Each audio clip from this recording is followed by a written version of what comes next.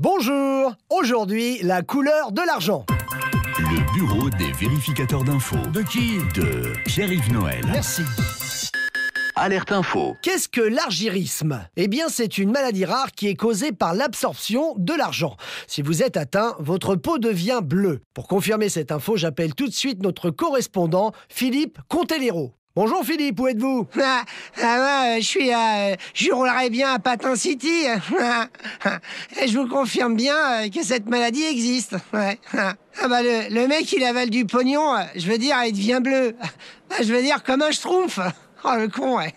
Ah, déjà, moi, euh, le premier qui me verra bouffer du pognon, euh, de la thune, euh, c'est qu'il aura becté des champignons à Lucie ou à Eugène, hein. Quand je vais raconter ça à Nelson, il va être vert. Ah ben j'y pense. euh, Si Nelson euh, il devient vert, c'est qu'il aura mangé des dollars? Merci Philippe Contelero d'avoir validé cette info BVI. Ah, De rien. hein.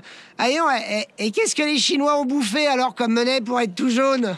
Mais ils ne sont pas malades Philippe, ils sont juste asiatiques. Ouais, d'accord. Ouais, bah, en tout cas, Hulk, euh, il a dû se goinfrer en dollars américains alors, hein Le BVI. Ils ne prendront jamais aucun risque. Sauf celui de vous faire rire.